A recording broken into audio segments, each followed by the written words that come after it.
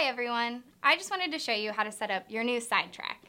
First thing you're going to want to do is check compatibility. So grab your laptop and install the free DisplayLink driver to your computer. First, you want to find out what version of Mac OS you are currently running. If possible, make sure to update your laptop to the latest version available.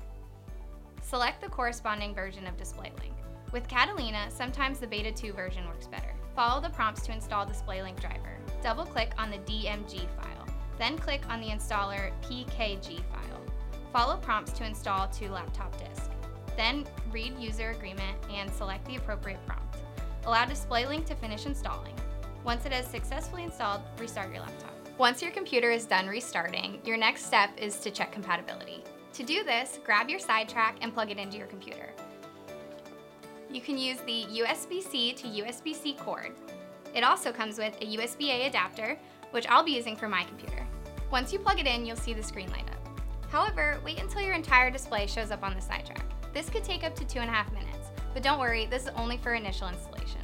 Your laptop needs to be unlocked for the SideTrak to display. If you have any connectivity issues, please contact our All-Star customer service team or visit our troubleshooting page. You may just need to change a setting on your laptop. When you're ready to attach your SideTrak, close your laptop and unplug it.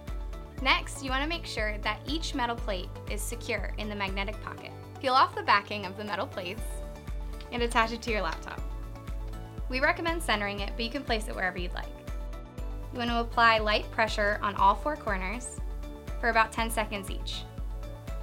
Make sure not to press right in the center of your SideTrak. Once it's attached to your laptop, simply slide it out until you hear it click. So it's easier to rotate. If your SideTrak seems unsteady or droopy, pull on the bottom a little bit harder until it clicks. You can use your SideTrak to extend or mirror your display by changing your display settings. The dual sliding tracks allow you to adjust your SideTrak to fit your laptop size. Flip your SideTrak all the way around to share your screen with the person across from you. Just make sure before you flip that your cord is plugged into the outside port. When you're finished working, simply close your SideTrak and laptop and go. Or pop it off the metal plates and travel with it separately. When you're ready to reattach the SideTrak to your laptop, angle it slightly and hook it onto the metal plates.